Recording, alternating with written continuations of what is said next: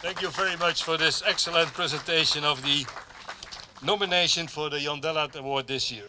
The winner for this year's uh, uh, Jan Dellaert Award is called Delta Airlines. Gentlemen.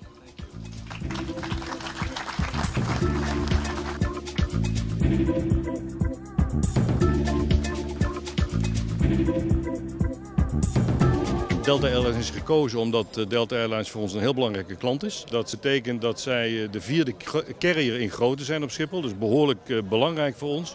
Ze vervoeren 2,4 miljoen passagiers per jaar, dat zijn enorme aantallen.